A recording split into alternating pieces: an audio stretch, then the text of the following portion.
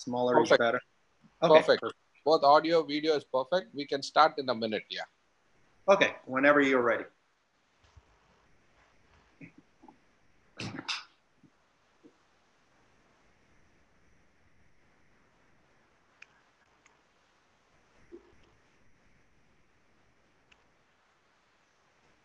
These days, everybody's zooming. Seems like that's the system du jour. Yeah. People are calling that a Zoom wars now. yeah, it's uh, I'm here in New York, and uh, uh, my wife uh, is doing her uh, uh, calls uh, on the business with Zoom. My kids are doing their school uh, work on Zoom. These everybody's zooming. Usually during the day, the dog zooms by too, so everybody's zooming. Correct. Yeah. Okay, Annamalai, can you can you introduce uh, Sean and then we'll start? Yes, sir. Yeah, it's, uh, I'm here in New York, and uh, uh, my wife is doing her calls uh, business with Zoom. My kids. And just make sure you mute others also. I hear a lot of echo, delayed echo, Venkatesh. Uh, yes, sir. Annamalai, you have to mute everybody and then start. Yes, sir. One, just a minute.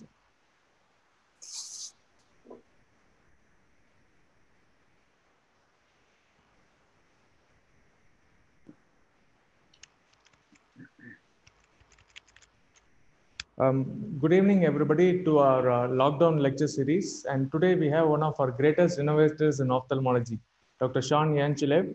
He's the man behind Lucentis, intraoperative aberrometry, CyPass, and the miLOOP, amongst other innovations. Currently, he is the professor of ophthalmology and the director of ophthalmic innovation and technology at the New York Eye and Ear Infirmary. And today we are here to listen to his talk on innovations and micro interventions on miLOOP, MIGS, robotics, and PiezoPrint microtherapeutics. Over to you, sir, for your lecture. Thank you. Thank you. Uh, and uh, thank you, everybody, and Venkatesh for the invitation. When, when I got the invitation, um, I was, I was uh, uh, reflexively very happy uh, to revisit with you and uh, recall the, uh, the great hospitality um, when you guys welcomed me in India, Pondicherry, in Chennai, and I met the different Aravind uh, hospitals and physicians and patients um, several years ago. It was one of my most enjoyable visits.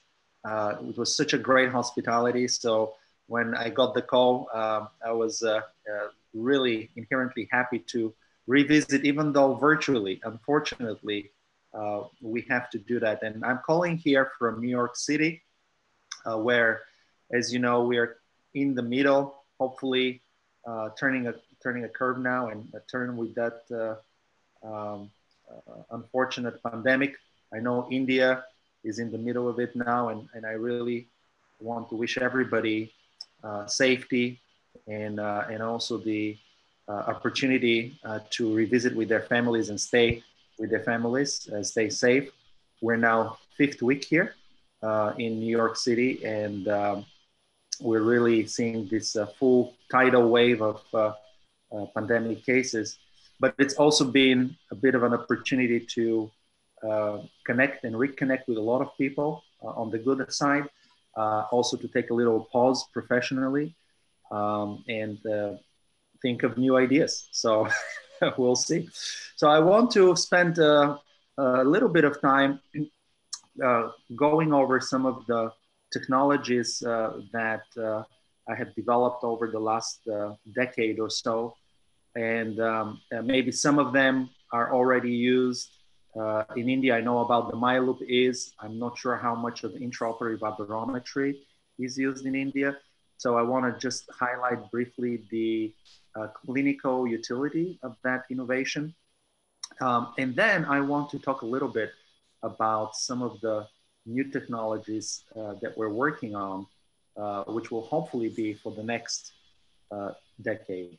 Now, I feel a little lucky, um, and it's always good to be lucky in that business because we know that 95% or more of innovation of ideas, of ideation, does, does not see the light of day and does not touch patients. Most of the drugs in development, uh, as well as many of the ideas of many clinicians, and, and, and some of them have phenomenal ideas uh, that they want to bring to life. Unfortunately, they don't make it through the development purgatory, so to speak, uh, because uh, it's not that easy to bring a technology to life. It takes blood, sweat, and tears, and in these days, a lot of money. I was, uh, uh when I finished my glaucoma fellowship, I worked with uh, Bob Sinskey in his practice, and he obviously came up with the Sinskey hook, among other things. And in those days, it was very easy. You know, you make a hook and you stick it in a person's eye, uh, and if it works, you use it. Uh, these days, you have FDA approval. Uh, you in India, I know in 2018 there was a huge revamp of the medical device approval process. So we have a lot of uh, very, very um, uh, sophisticated pathway of innovation now that makes it harder for clinicians, unfortunately, uh, to innovate. Uh, at the same time, the technologies that come out are hopefully more validated and safer. So when you look at the decade of the past decade of innovation, I started out with a couple of technologies that all uh, really made it through the FDA approval pathway. Uh, and Lucentis was, uh, uh, as we mentioned, one of them. I rarely talk about Lucentis now because obviously it's been around for so many years, and there are a lot more eloquent uh, uh, people from the retina field. They talk about it clinically, but we started that about almost 18 years ago at Genentech. I headed all of the development there for uh, Lucentis and um, on the clinical side. And we designed the, first uh, studies uh, that validated the pathway. And I'll tell you briefly about it. Subsequently, we, uh, starting in residency, and this is a good point for residents, uh, I invented uh, the intraocular aberrometry approach to cataract surgery, and I'll show you some, show you some of the utility we have uh, here almost in every operating room in New York INEO, we have one of the ORA systems and it's used now by more than a million cataract surgeries or maybe 2 million by now.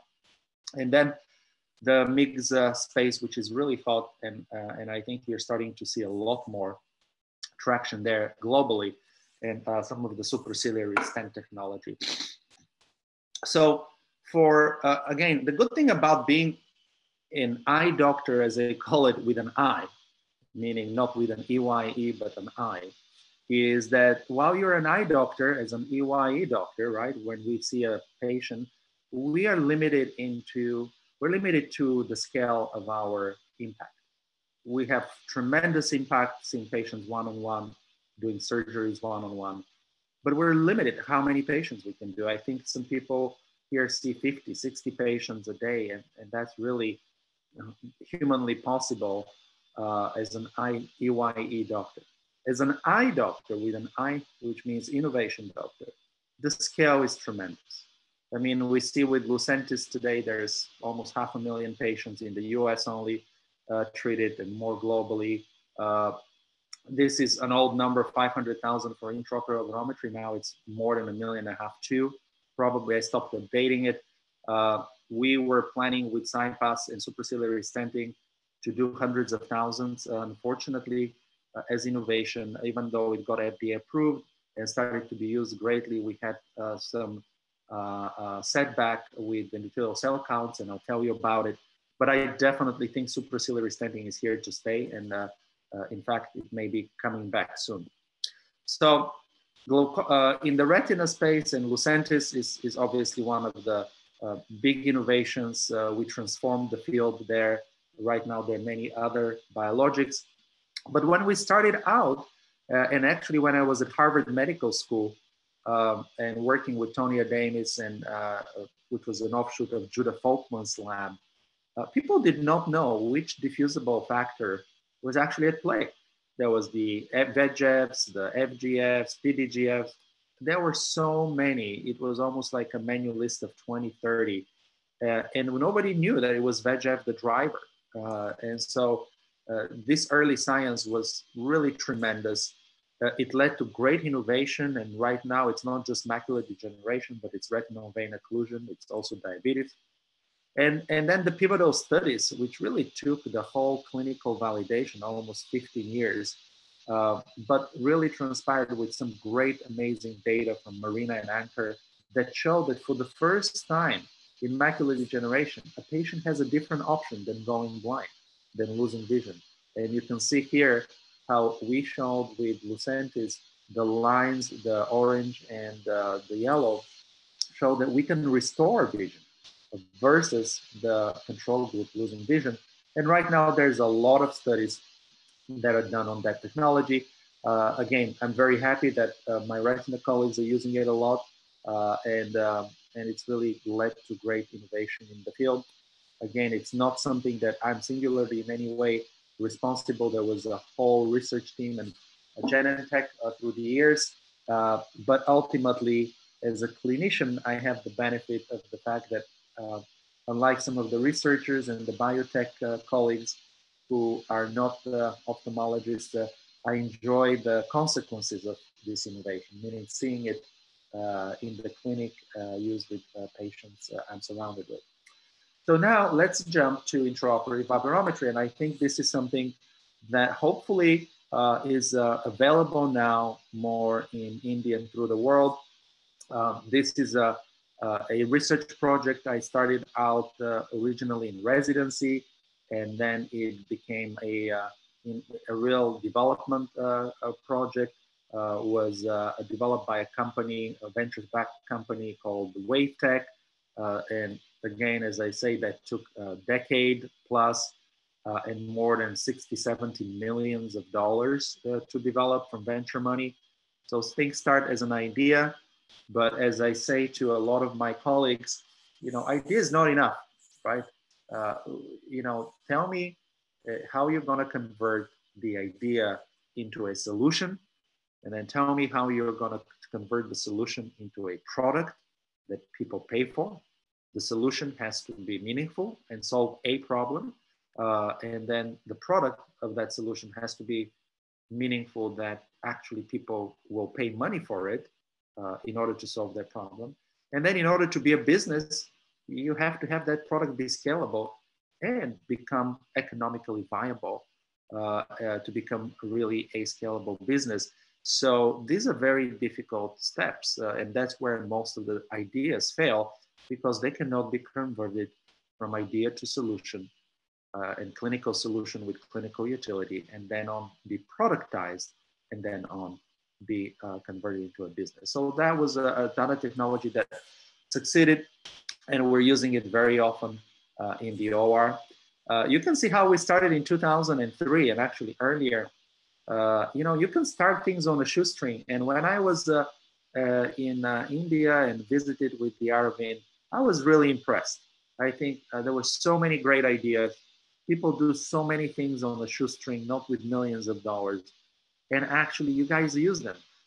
so I, I, I really think there is a ton of innovation that is somehow, somewhat unrecognized globally, and, and uh, we need to figure out how to uh, make it more relevant and, and bring it over here because there's some great techniques, they're great products, uh, and, and uh, I wish there was more venture money in India too because I can see that the petri dish of that innovation is there in India.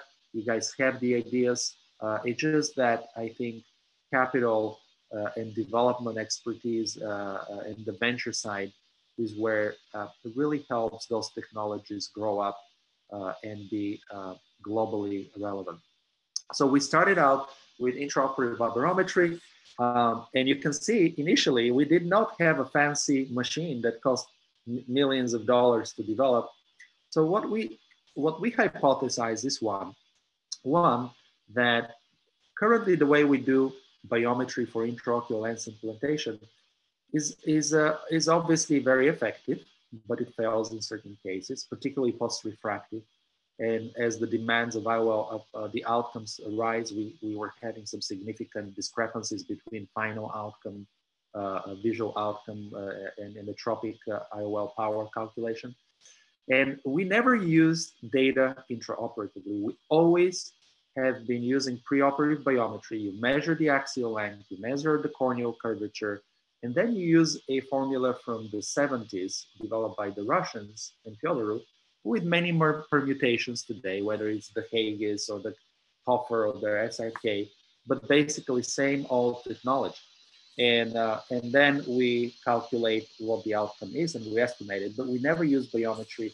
And we had uh, and we had that idea that, boy, wouldn't it be nice and how advantageous it is that when you take out the cataract and you remove the lens of the eye, you have that eye in a very privileged virgin state where you have the cornea and that's it. There is no interference by the old lens. You have a pure optical system. So if we do intraoperative autorefraction, and you can see here using the autorefractor, uh, basically, which was available, the portable one in the clinic. That's how we started.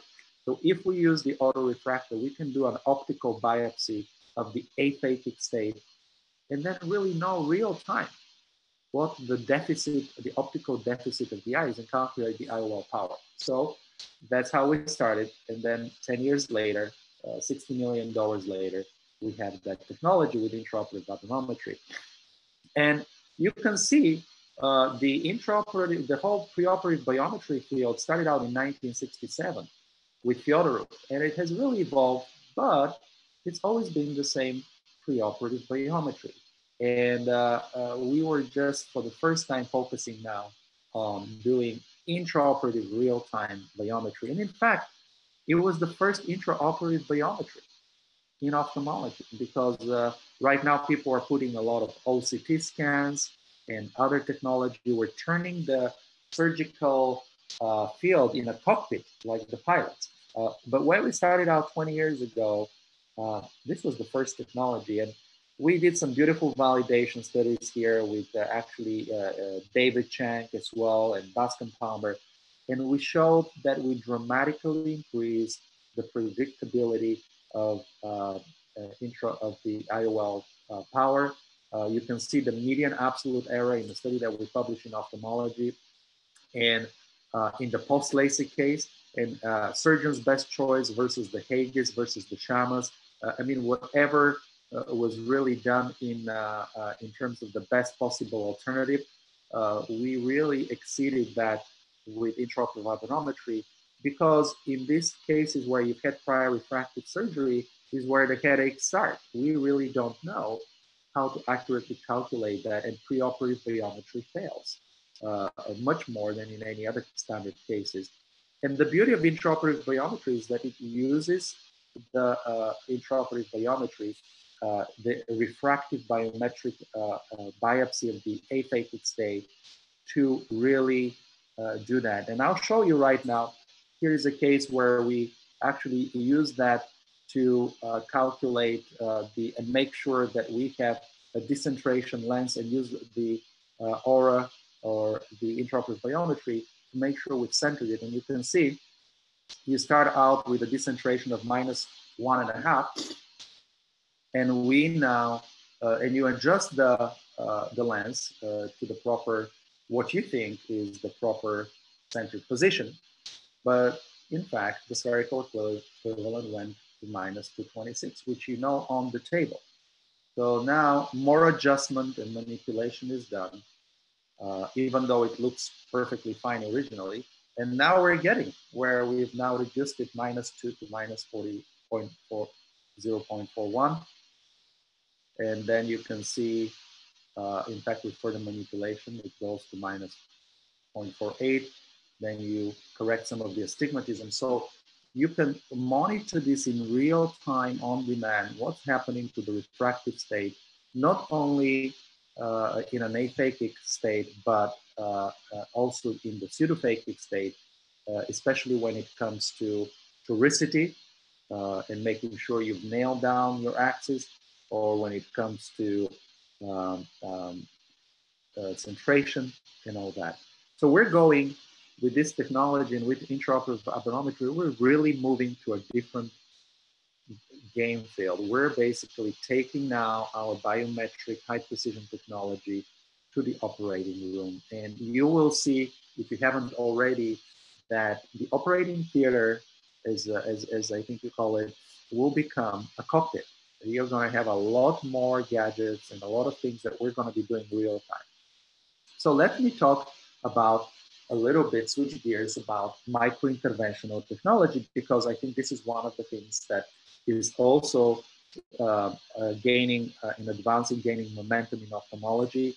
And while in ophthalmology, we were ahead of the curve when it came to size many, many years ago with all of our Vannas scissors and micro scissors and micro uh, hooks and, and, uh, and choppers and uh, other very fine instrumentation, we actually have lagged over the past 20 years, well behind cardiovascular, uh, neurovascular, and interventional cardiology.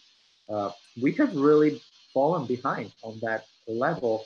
And, uh, and I think what you will see is actually ophthalmology regaining that ground and really deploying now these micro-interventional technologies in our field as well and it's starting out with some of the stent technology in glaucoma.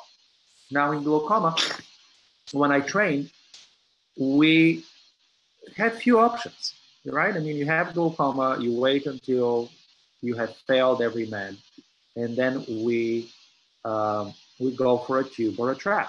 And I think probably in India more trabs than tubes, but maybe now more tubes have gained more uh, popularity. But these were the options before 2000 uh, about 10, 15, 20 years ago. Uh, then options started to increase. And uh, with micro-interventional approaches, now many things popped up. Uh, you know, canaloplasty was becoming popular. Uh, and now the stents are starting to show on the horizon, such as the iStent. We work on the CyPass. Uh, we have another trabecular stent, the Hydrus, the XEN here.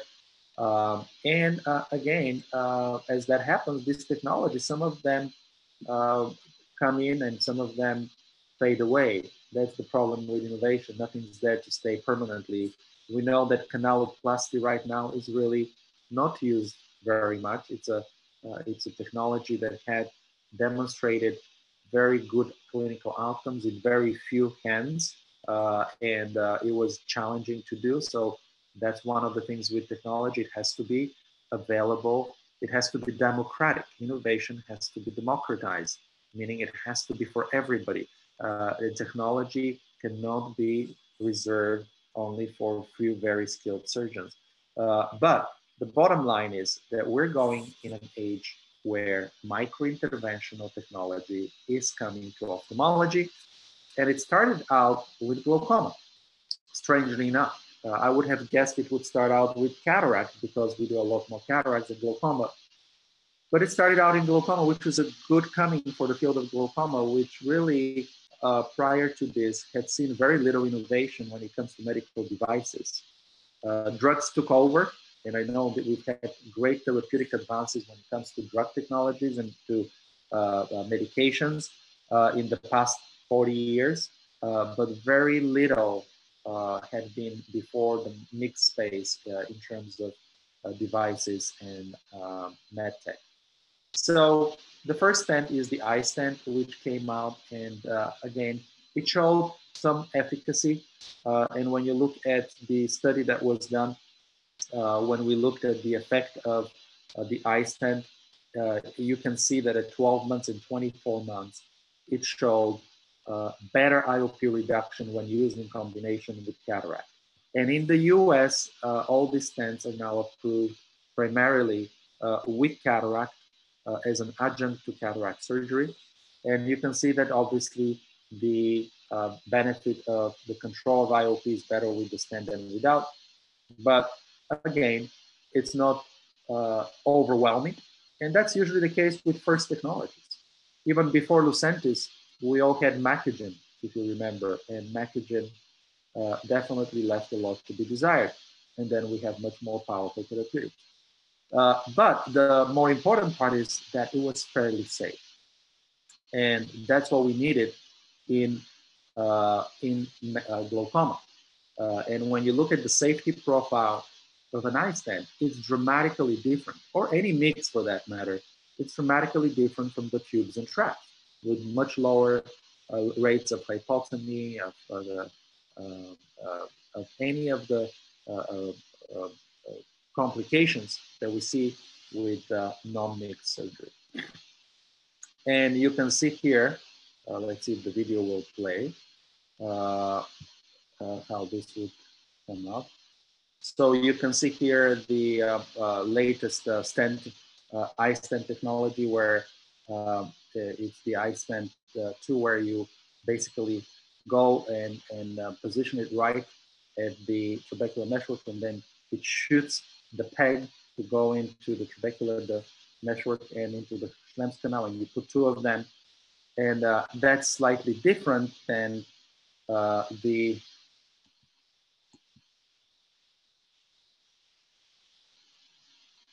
let's see if uh, the other video didn't play unfortunately We're stressing out the technology here let's see if we can go back it's slightly different than the first generation, uh, I wanted to say, of, uh,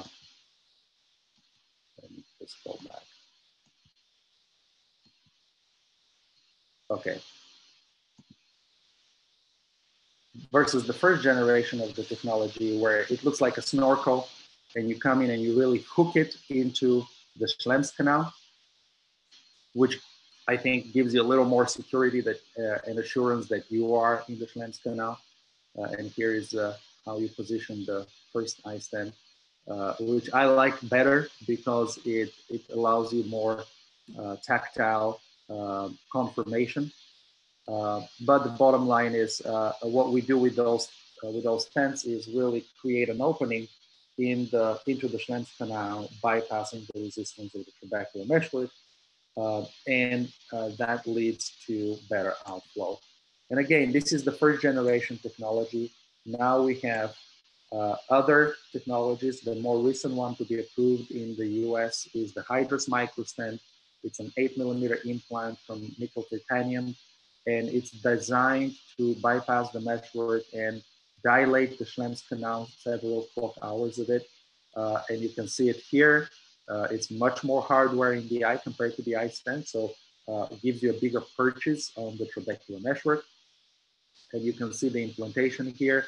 When you go uh, and oppositionally to the Schlemm's canal, uh, into the Schlemm's canal, penetrate that, and then you insert the scaffolding element, the hydrus. Uh, and, and again, what that does is not only creates an opening into the Schlemm's canal, but it actually creates a, a stretching and distension of the canal. And the outcomes of that uh, appear to be also compelling uh, as a MIGS device. Uh, uh again, you can see the results that were published, uh, and uh, um, there are now quite a few studies demonstrating that um, the baseline outflow resistance is reduced when a stent like Hydrus is used, and then the clinical studies confirm that we have better clinical outcomes when it comes to outflow. Uh, and here in the study between Hydrus and phaco versus phaco that was published at 24 months, uh, uh, we're talking mild to moderate glaucoma here. So again, these are cases that are not the end stage.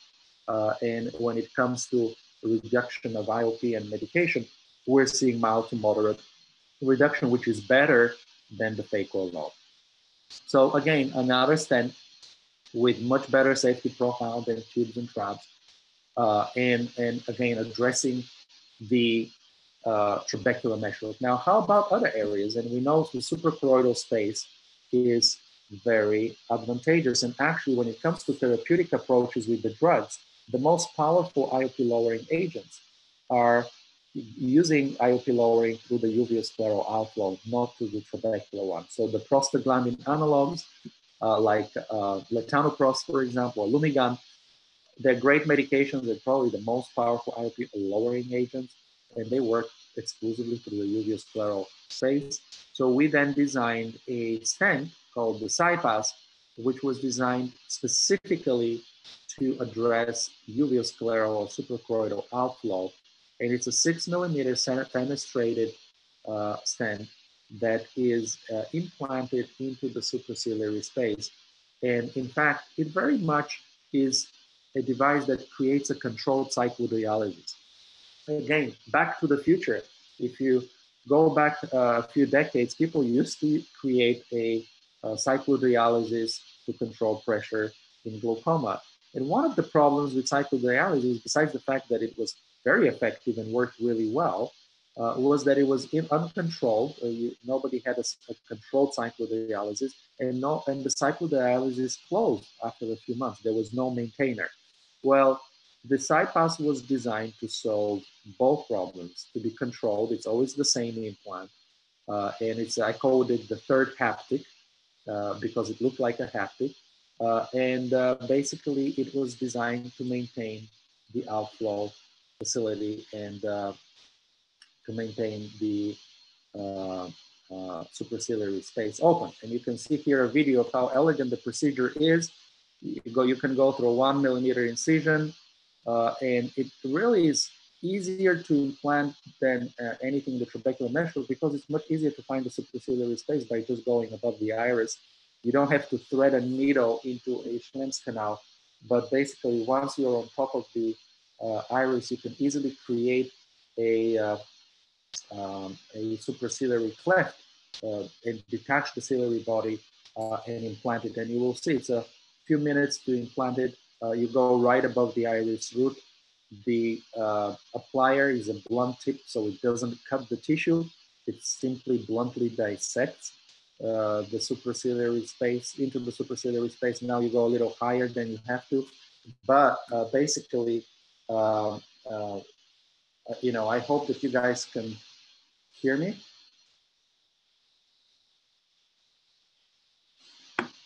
Okay, I still got a point here from Venkatesh.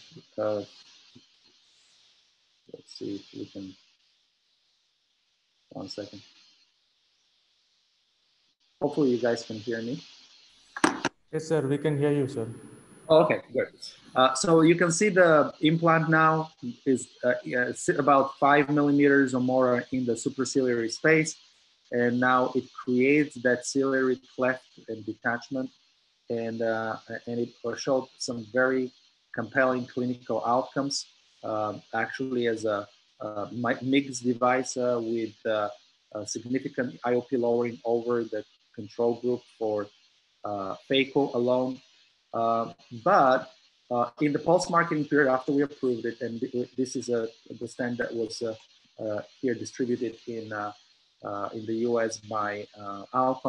Uh, again, the adverse event profile from, from the PMA and from the FDA study was was very looked at the safety and risk was justified. It was much better than a tube and trab, just like the other MIGS devices. it did have some cases, mild cases of uh, uh, maculopathy and cystoid edema that resolved uh, and improved. So uh, something that basically demonstrated slightly more IOP lowering and uh, also a little bit more uh, uh potential adverse events compared to some of the trabecular stents. But more importantly, it, it really created a very compelling approach uh, to creating IOP lowering or achieving IOP lowering uh, with suprachoroidal uh, outflow enhancement. Uh, uh, unfortunately, uh, in the five-year follow-up, it became evident that some patients started to lose and continue to lose endothelial cell. And the endothelial cell loss really manifested preferentially into the CyPass group uh, after the third year. And it was mainly uh, or exclusively limited to patients where the implant was more anteriorized, meaning it wasn't implanted as deep as it should have been. If it's implanted uh, to the proper depth, there was no excess endothelial cell loss, but when uh, part of it was more anterior, it led to uh, progressive uh, loss and attrition of endothelium. And that's when the implant was withdrawn uh, and, and uh, further work is done to really understand and solve that problem.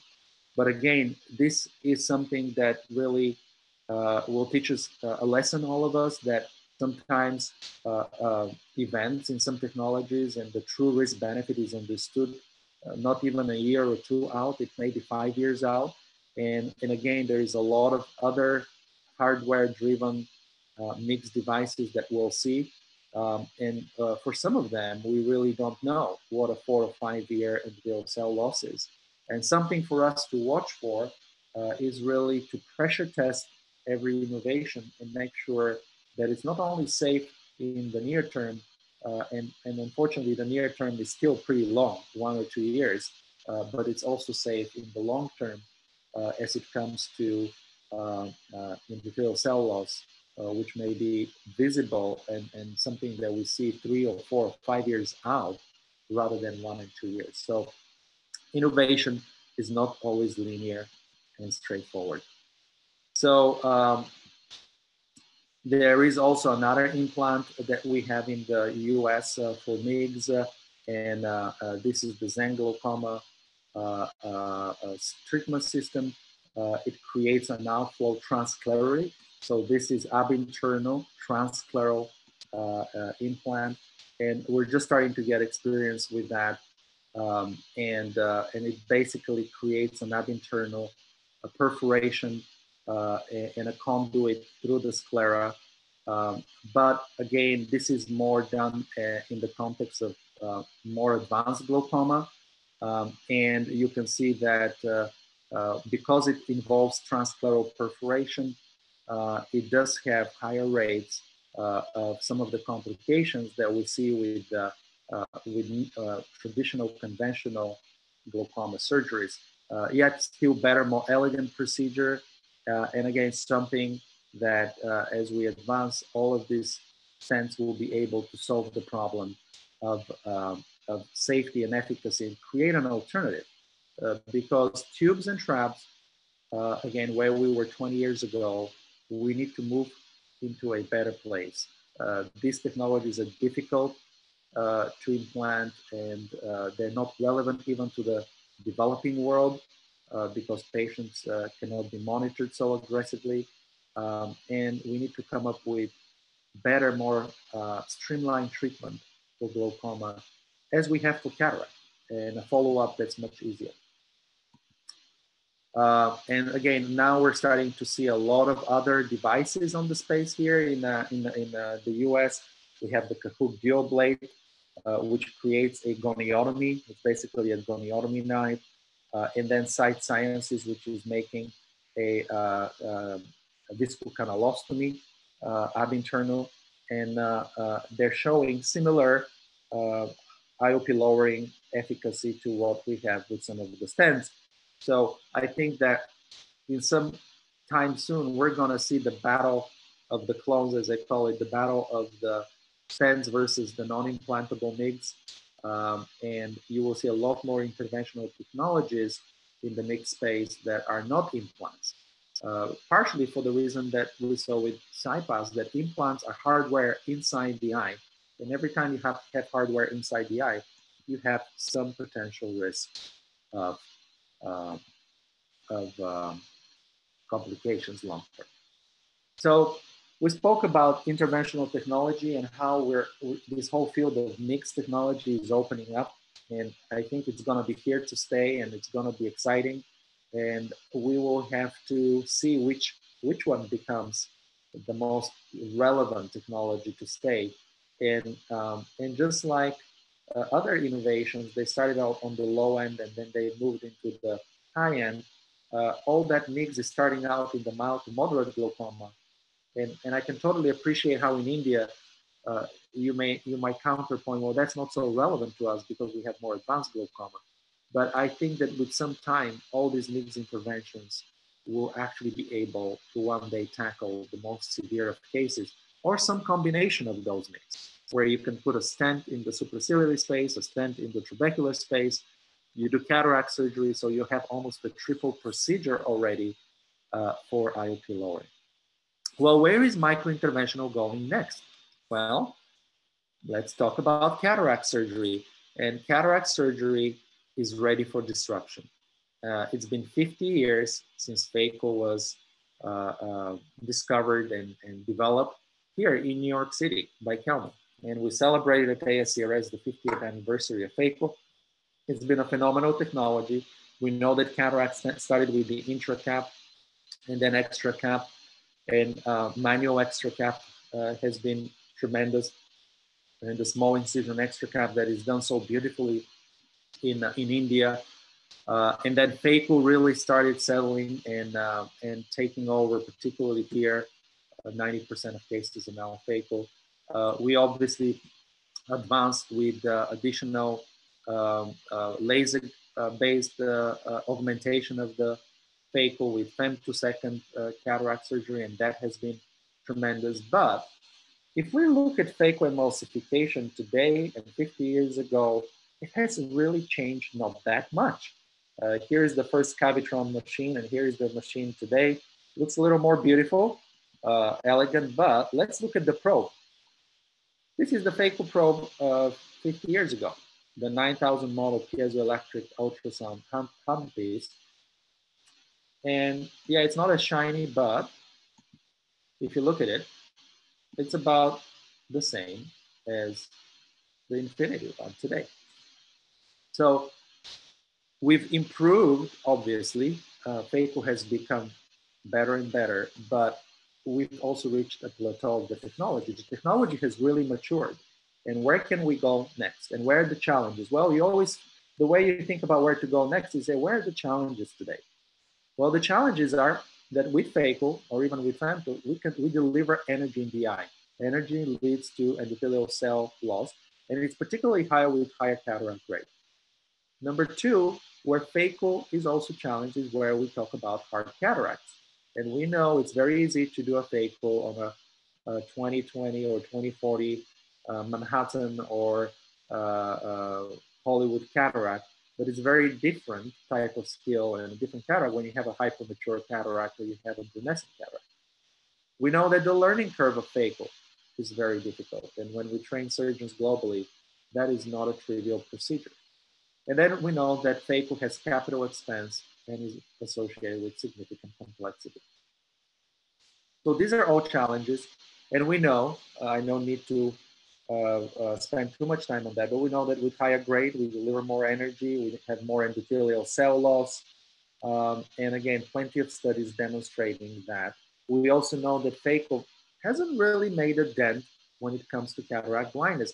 We've solved so many problems in the world when, we, when we talk about infant mortality, maternal mortality, some of the infections, but cataract related blindness is on the rise and it hasn't been uh, solved. And we, I have done uh, a lot of uh, missionary work to Ethiopia, Africa, to Latin America, and there is a sea world, an ocean of cataracts. And probably in India, you solve that problem to the best that I've seen. But again, it's a very, very big problem and it hasn't been solved, partially because phaco technology has not been easy to adopt and implement. And so, what is true north if you were to develop the next generation or the next cataract technology, what is true north? What would you want on your wish list, so to speak? Well, I would want minimum to zero energy in the eye. So I want to do the fragmentation without any energy. I would want the fragmentation to be cataract grade independent. I would like to be able to cut a very brunescent cataract as easy as I would cut a mild cataract. I would like it to be disposable instrumentation single use without infection. Uh, and I don't want to increase my time and complexity of cataract surgery. And I want it to be trainable and scalable. So all these things are on my wish list. So when we, with the engineers, sat down to think about how can we fragment the lens differently than just phaco energy, we thought of that the best way to do that is through mechanical zero energy endocapsular fragmentation. And how would that work? Well, we actually thought that the examples can be drawn from two places. One of them is from the interventional field uh, in cardio, cardiac intervention and interventional radiology, where they use a lot of thin filaments and super elastic filaments, which can allow you to do that. And the other one is from cheese cutting. And uh, when you eat uh, some cheese with your wine, and it's a strong, very hard cheese, how do they cut cheese? They don't cut cheese with phaco, they cut cheese with wires. So we really looked at the wire and filament technology using the interventions of today, which means nitinol. uh, nickel titanium, the same material that's used in a lot of the stents. Why? Why do we have to use that? Because, uh, because this material is super elastic and this material can be memory shaped. So we designed the miLOOP, which is a super elastic thin filament. It expands very easily from 12 millimeters to less than one, can go through a one and a half, two millimeter incision. It can expand, it travels around uh, on the surface of the lens. It expands to a pre-shaped, memory-shaped form, then wraps around into the endothelial interface, into the uh, endocapsular interface between the uh, bag and the uh, cataract, and then it cinches the cataract and cuts it. So in the process, uh, literally zero, zero uh, energy in the eye, no heat participation. And you can see how we actually have the BioLoop tube where you can do two filaments, uh, where they would expand. And, uh, and as you can see, they expand very lightly on top of the lens. Uh, and then they wrap around the lens and then they cut it. So again, very different way of doing fragmentation. And it's very different because compared to chopping, where you do the chopping of the cataract inside out, you basically chop it and stretch it, you actually cut here outside in. Once it goes into the plane, it literally cuts the lens out in by cinching it, which is very advantageous because it doesn't put a lot of stress on the capsule. And you can see here, the cut on the Miyake view, how uh, little stress there is on the capsule when you look from uh, below, because the, the filament goes around and it's shaped to hug the lens rather than stretch the capsule. And then it's able to cut the lens and it pretty much cuts any type of uh, cataract, whether it's mild or wild. Uh, and even if you put your finger, it's gonna cut it because this is nitinol alloy. So that's how we started out with endocapsular fragmentation and uh, with the miLOOP technology, which is actually the first time that we're able to cut centrip uh, centripetally versus centrifugally. Every time we chop, we chop the lens centrifugally, meaning from inside out. Every time we cut with the miLOOP, we fragment it centripetally from outside in, which really eliminates the stress on the zonules. And uh, there is a study coming out uh, that uh, uh, was done. it's a phenomenal study. It basically showed that you improve refractive outcomes dramatically with the miLOOP uh, versus without. And how is that possible? The miLOOP is not a, a refractive device like the ORA. Well, the reason it's possible is because of centripetal versus centrifugal cutting.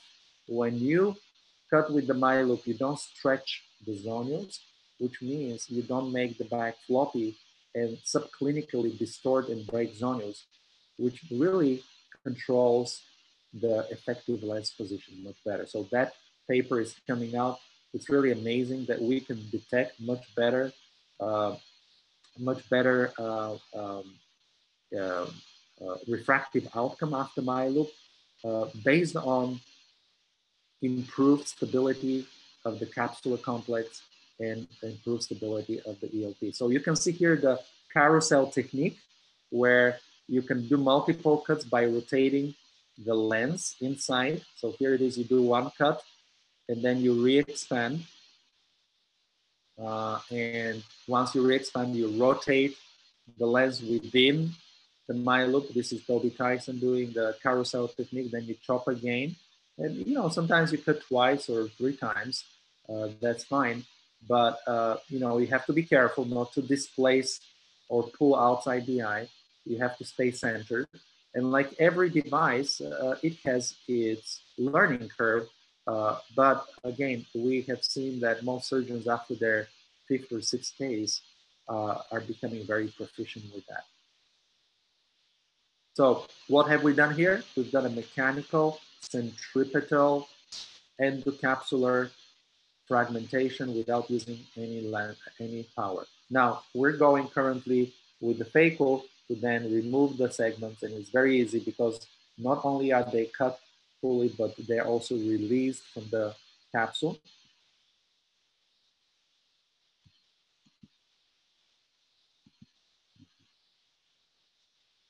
Okay, and um, and that's uh, yeah, that's how this works, and uh, we can we can really do this with very dense cataracts or with mild cataracts, and we've shown that in the hands of very experienced phaco surgeons, we can reduce for the same if we randomize cases, we can reduce the energy used for the phaco by 53%. That's dramatic. So if you give a very experienced phaco surgeon the miLOOP and they do the pre-fragmentation with the miLOOP and then just go with the phaco to remove the uh, segments, you use 53% less power for your phaco and, and, and obviously that would be related to better corneal health uh, afterwards. So uh, again, this is, this is very uh, encouraging. And again, there were some good accolades of the technology. The part that you haven't seen yet is the second device, the MyPort. So miLOOP is now in the hands and the company was sold to Zeiss. Uh, and I think they're introducing it globally. But the part that you haven't seen is the MyPort. So MyPort is basically the second pen that once you have fragmented the lens with the miLOOP, you then extract the lens pieces with this small pen. Here is your pedal. The pedal is that green button on the top. So no more pedal, no more capital equipment. Everything will be in a single pen that does not connect to a box. That is your phaco tip, so to speak, but without the phaco, and it uses mechanical cold agitation for the technology. And again, I cannot talk much more about this, but the what we're trying to do is we have one step with the MyLoop, which fragments the lens, and then you have the MyPort, or however that will be named, which will go in and extract it, and you're doing that with two pen-like devices. So this will be the future, hopefully, and uh, right now this technology that we started is really uh, developed and brought uh, to life through uh, Zeiss and, uh, and the uh, engineers that we started this innovation with. And hopefully you're gonna have one MyKit. In your MyKit, we'll have the miLOOP pen and the MyPort pen, and that's it. Wouldn't that be great? So um, what I also wanted to mention is other things that I'm working on. Again, interventional is not gonna stop with uh, with the uh, with the miLOOP and the MIGS. We also have other things, and I think in India people are using Zepto I wanted to mention that technology it's not something that I've been involved in, but again, it's another example of interventional technology coming to help us with more predictable capsulotomy. What we're working here on uh, uh, at New York Ear uh, is uh, actually we're bringing in robotics and we'll be the third center in the world here to bring in uh, a, a system called the Preceyes. Robotics is a phenomenal new direction in surgery. And again, ophthalmology is a little behind the curve. Well, this is the first uh, clinically validated system that has actual CE mark in ophthalmology with Preceyes, and I'm working closely with the company. This is the actual device that allows you to do high precision uh, uh, surgical intervention, either retina or cataract. Again, the best surgeon has a precision of about 100 microns. This will have a precision of five microns. We're gonna, you can cannulate veins, you can do things that we could never do before. And it's very exciting.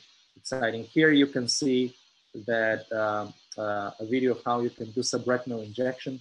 One of the problems with subretinal injection is that you cannot always go into the subretina and you waste a lot of these new, very expensive gene therapy drugs.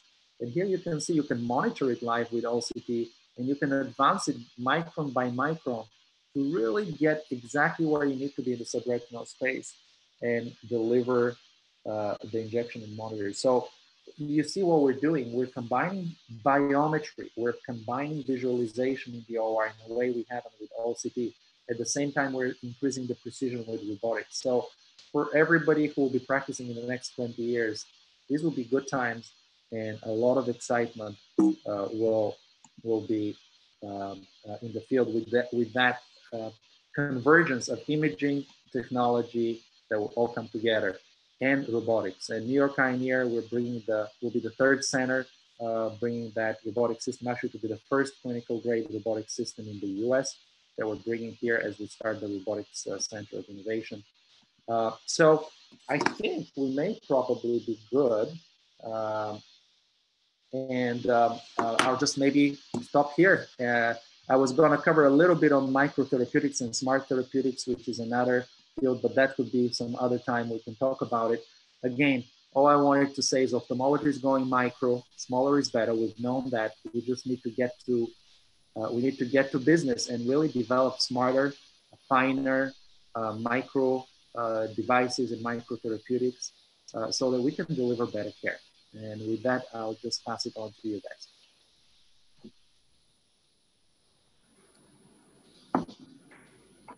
So th thank you very much, sir. Um, we will take questions now.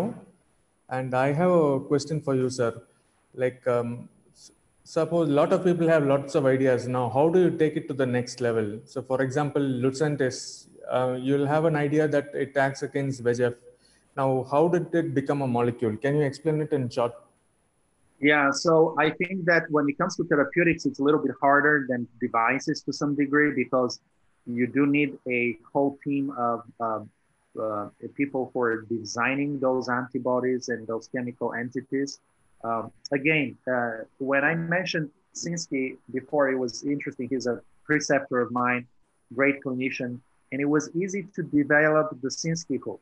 You, you know, one person can do it. Today, you have to be a team. I, I don't know how to design the actual antibody, but I can look at the antibody science and give clinical guidance to uh, uh, biotechnology experts who can design it. So uh, it takes a lot of time, it takes team, and it takes capital. And that is the issue. You cannot do a lot of this uh, either alone, or you sometimes, unfortunately, you cannot do it in between 20 cases. You have to prioritize it. And if you want to take the idea to a solution, to a product, you have to really invest time for example, for me, I see patients only one day a week, and the rest of the time I'm focusing on innovations and I'm developing new technology because I personally like to be a lot more an eye doctor with an eye than an eye doctor with an EYE because through some of these innovations, I can touch a lot more patients. And what about these devices? Uh, are these uh, mostly 3D printed first and uh, tested on uh, animal eyes? So the 3D printing, um, again, 3D printing is just another way to get things a little bit faster. We're actually working on some new devices that I haven't spoken here, but in the old days, uh, what you would do is you have to create a mold uh, for some of these devices if they're mechanical. Uh, the molding process takes time. It takes thousands of dollars, and you know something that would take normally two months and you know fifty thousand dollars for a mold for some parts right now 3D printing can come to play and um, it can shorten that interval from doing, you know, maybe instead of doing two months, maybe a week or two or less. So 3D printing is there. It's actually very exciting because you can do things faster, but it doesn't solve the ultimate problem of how do you do the whole technology solution and how do you validate it because people need clinical outcomes. And so even if you come up with a new stent, you can make it, uh, you can design it, but that's only the beginning. The actual engineering design is only the beginning. Then you have to validate it, improve it, and iterate it multiple times. Uh, and yes, 3D printing actually helps us get there faster. I'm working on a, on a supraciliary stent technology now where we were able to do what normally would take two, three years in about four to five months. Well, that's exciting. That compresses the time uh, but I still require a team. I still require funding. I still require the same basic elements, even with the 3D printing. There's no way around it. Okay, there are a few questions in the chat section. So, go ahead. Uh, one such question is uh, What are the chances of damage to the poster capsule with the miLOOP? And what happens if it entangles the iris or the capsule? Is it, can it be released safely? Yeah, so um, when we did the study originally, we actually were worried about the capsule a lot because obviously you're you're going where no one has gone before. We're inserting hardware, we're inserting a filament in that capsular plane, uh, and and of course initially we were thinking we're going to try this and probably will fail and we'll have to kill the technology because one of the biggest risks is is, is you're going to be uh, really um, um, uh, uh, breaking capsule. what turned out to be when we tested it in cadaver eyes, and in cadaver eyes, you know, the capsule is even more fragile. In cadaver eyes, when we did the test, we absolutely had no, no um, uh, capsular tears. And then when we did the study in, uh, in humans in uh, uh Latin America, we found very low rate. In fact, phaco was causing more tears than, than um, the miLOOP. And that is because the miLOOP is designed to slide within in the capsular plane, not by pushing the capsule, but, but actually hugging the lens. And it causes centripetal pressure rather than, than centrifugal. Uh, and, and with the chopping going in, out versus out, in, in the miLOOP, uh, it's actually um, more uh, tender on the capsule uh, than the chopping. Now, um, we've been using the miLOOP here. Obviously, you can tear a capsule with, I mean, you stick anything in the eye, you can cause damage. Um, and uh, I, I uh, haven't seen exactly um, uh, every study or if there have been additional studies that have come out after our original study, but we're going to learn a lot more. I'm sure there's going to be, uh, just like any instrumentation in the eye, there could be cases where you do have uh, tearing, but we didn't see any tear over what we see with phaco. And again, it does require to learn the technology and be very, very careful when you use it. Uh, it looks very easy. And like everything else, we've designed it to be usable, to be easy, but it's non-trivial. There are little pearls and little uh, approaches that you have to implement and learn. And don't learn, again, on your hardest cases, just like phaco. Don't start phaco on the brunescent cataract. Uh, start it on a milder case just so that you're comfortable with the device and then advance. So, so yes, we've actually been very surprised that the miLOOP does not cause uh, uh, any uh, uh tension and uh, untoward effects on the capsule. And partially that's because we're using super slick and thin filament with the nitinol, which is memory shaped in the appropriate configuration for that.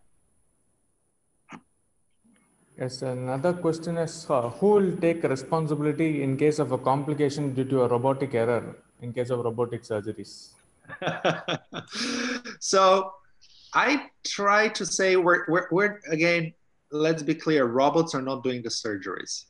Uh, and, uh, and I think uh, everybody now is, is very careful to say this is not robotic surgery, this is robot assisted surgery. So we, the surgeon is doing the surgery and the robot is just allowing you to, uh, to, to do a better procedure. Now, uh, I think the robotic part is an extension to you, just like the phaco is an extension to us. We cannot do phaco with our finger, right? We need the phaco machine. We cannot stabilize our tremor and, and improve our precision from 100 microns to 5 microns. We cannot do it. So we're using these tools.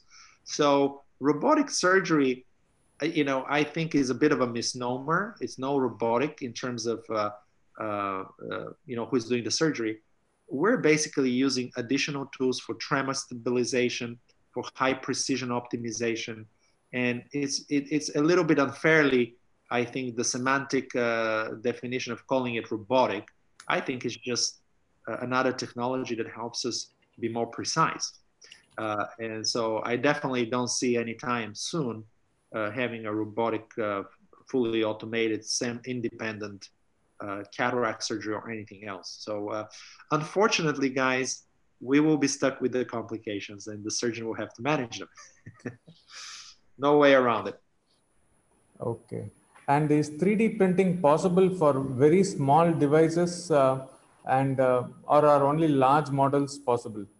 Uh-huh. So good question. Uh, one of the challenges I had with my next technology, which I mentioned, is we had to 3D print something really small. And when you get there, the challenges begin. I think uh, everything is great when you draw it on a napkin, but if you go down the scale to where we are in ophthalmology and you're looking at things that are 50, 100 micron, 3D printing is not there yet. Um, so I think it will be there. I think we'll be able, and there are some very high precision systems that are coming out online now. But if you're gonna 3D print something with some features that are below 50 microns or 100 microns.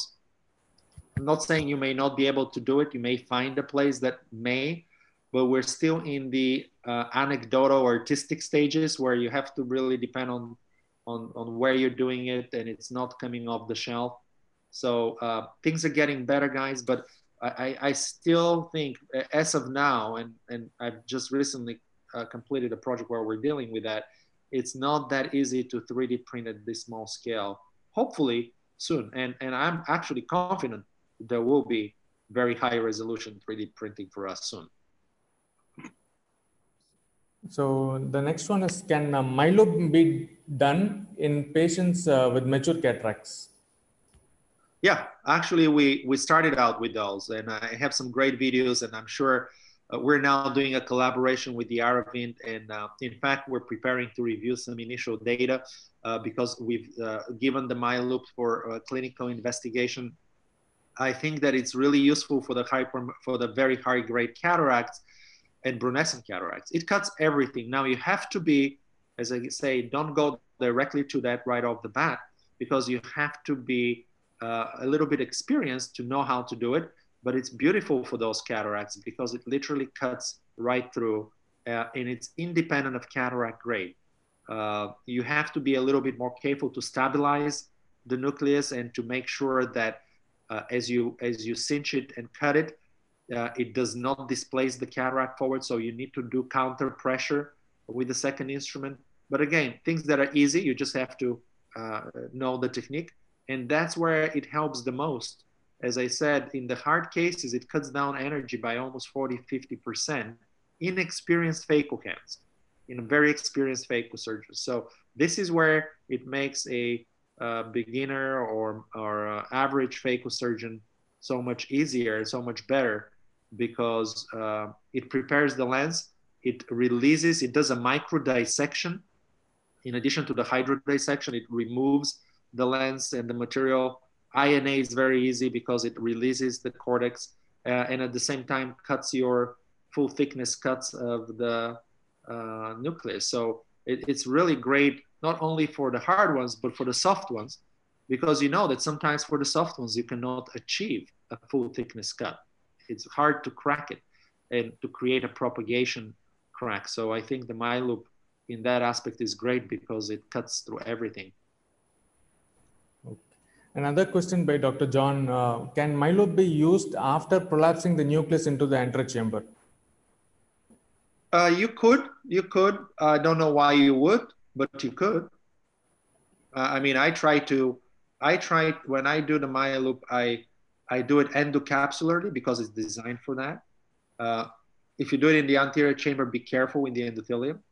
And then uh, when I cut, I actually let the pieces prolapse a little bit. So once you cut it, uh, you know, we you, sometimes we're afraid that something prolapses in the AC. Well, actually, I like that because when I cut it and I don't do much counter pressure, the cut happens and uh, and you have to be careful for the capsule. But it's okay for things to kind of a tilt and a little prolapse in the AC. It makes it so much easier than to go and take them out with the uh, uh, you know, the, the phaco. So uh, again, a little prolapse is good, but I don't know why you would do that.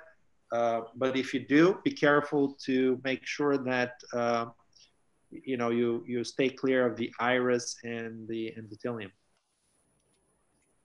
Okay. And uh, in one of the slides, I did see that uh, iStent is, uh, is a metallic instrument, so MRI is sort of contraindicated. So is it true yeah, I think it's MRI compatible, so, but you, you have to do a reduced MRI settings.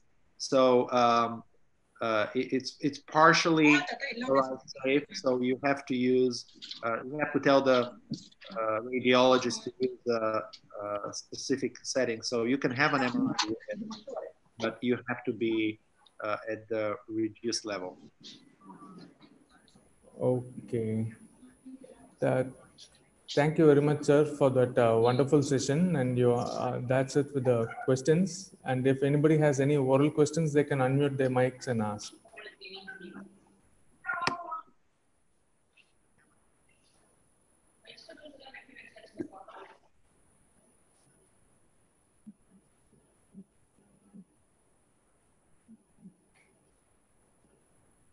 Well, I all, all I want to say is that uh, I really hope to see a lot more innovation.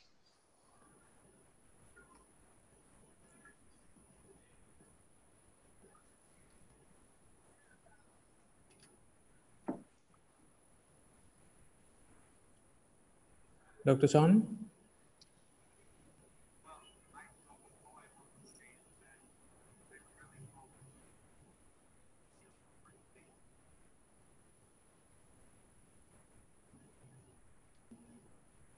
Dr. I Sean, think uh, there's some issue with your audio. Uh, Annamalai? Ah, yes, sir. Uh, I think uh, Hmm. he is not muted, but um, his audio is not reaching us.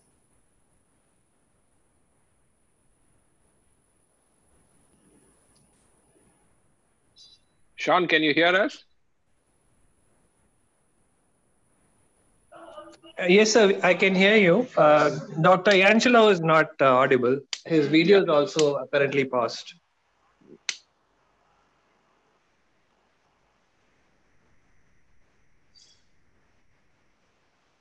Okay, I think there should be some technical issue. Annamalai, I think we should close the session. Thank you. Thank you, Sean, again uh, for the excellent talk and uh, uh, so many interesting um, innovations. And we are looking forward for the My Port and the My Kit. Like how you said, honey, we don't know who has shrunk the phaco machine, but we know that it's Sean who has shrunk the phaco machine into a probe now. How it is going to go in the future, we have to wait and see. But it's so interesting. Some of some of your innovations have been real game changers. Thank you again. Have a good day. Thank you, sir.